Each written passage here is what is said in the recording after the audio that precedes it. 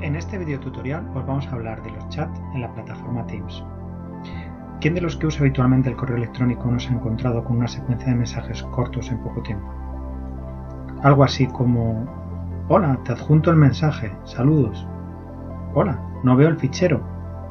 Espera, te mando la última versión. Lo he visto, ¿qué página has cambiado? Cuando usamos de esta manera el correo electrónico se puede decir que no estamos haciendo el mejor uso de esta herramienta. Los usuarios de teléfonos móviles, casi todos, conocemos aplicaciones como WhatsApp o Telegram, que gestionan este tipo de comunicación de forma más eficiente y cómoda para el usuario. Teams, con su funcionalidad de chat, facilita esta labor en el entorno de trabajo. Vamos a ver cómo. Una vez instalado y arrancado Teams, podemos acceder al chat en la barra de botones de la izquierda o en la parte superior crear un nuevo chat. Si accedemos por la parte de la izquierda, nos aparece en primer lugar la lista de contactos recientes. Si indicamos un nuevo chat, se muestra un cuadro de búsqueda desde el que podemos seleccionar un contacto de la organización de forma similar a como hacemos en el correo electrónico. En cuanto hemos seleccionado ese contacto, ya se activa una barra de texto en la parte inferior en la que podemos escribir el mensaje. Como veis, junto con el texto es posible enriquecer el mensaje dándole formato, incluyendo emojis,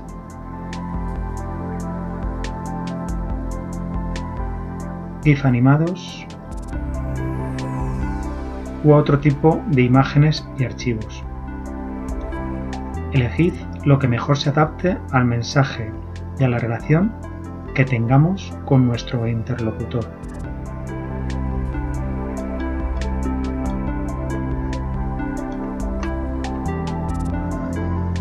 Incluso cuando hemos enviado el mensaje nos permite modificarlo en todas sus características texto, tipo de fuente.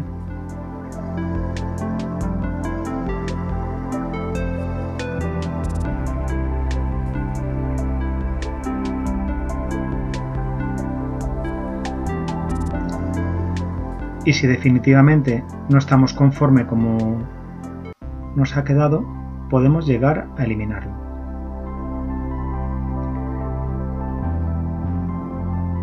Hay otras funciones desde la ventana como iniciar una conversación de audio, compartir escritorio o vídeo y también se pueden incluir a más contactos en un chat.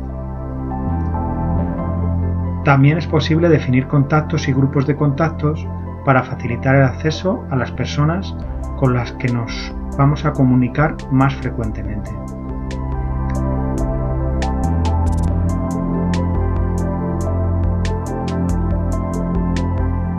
Visto esto, ¿no creéis que buena parte de la comunicación cotidiana es posible realizarla a través de chat?